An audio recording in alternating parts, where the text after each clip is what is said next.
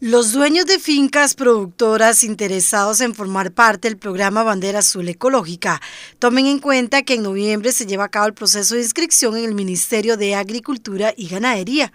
Para participar es necesario llenar el formulario de inscripción y entregarlo en la agencia de extensión agropecuaria correspondiente. En noviembre hay un proceso de inscripción de personas que quieran someter su finca, ya sea agrícola o pecuaria o agropecuaria, las dos cosas, este, someterlas a este, primero a una inscripción, eso se manda, eh, se aprueba, se manda a San José, posteriormente ahí en el mes de enero o febrero hay que elaborar el diagnóstico de la finca y hay que hacer el plan de trabajo del 2024. Entonces, lo que ahorita nosotros hemos hecho en el 2023 con fincas nuevas, es que hemos hecho el diagnóstico, se ha hecho el plan de trabajo y hemos dado, le hemos dado seguimiento. Entonces, lo que se escribe en noviembre para el 2024, en enero o febrero hay que elaborar el plan de trabajo, el diagnóstico y ejecutarlo para que en el 2025 le estén otorgando la bandera en una fecha muy parecida como esta.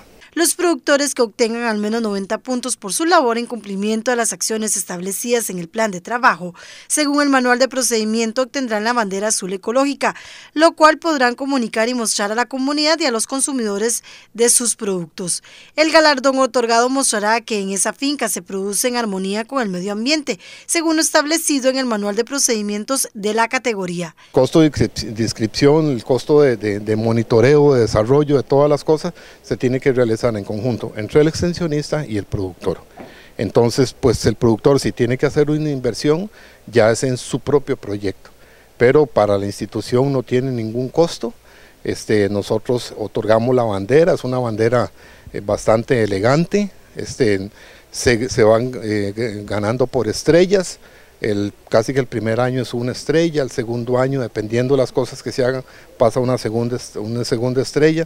Si hay una divulgación de la finca hacia la comunidad, pasaría unas tres estrellas y si tiene algún tipo de galardón diferente, qué sé yo, si es productor orgánico certificado, si tiene una certificación NAMA Ganadería, si tiene una certificación NAMA Café, puede ser que se le otorguen hasta las cuatro estrellas. Ya aquí cinco estrellas es ya una finca que tiene carbono neutral, que tiene algunos otros este, certificaciones que es un tanto difícil conseguir. No imposible, pero hay que hacer mucho esfuerzo económico principalmente. Cabe indicar que para este 2023, 79 fincas agropecuarias de la zona sur fueron galardonadas con la bandera azul ecológica. Cada año el Ministerio de Agricultura y Ganadería hace la premiación a las fincas participantes y que cumplen con los diferentes requisitos.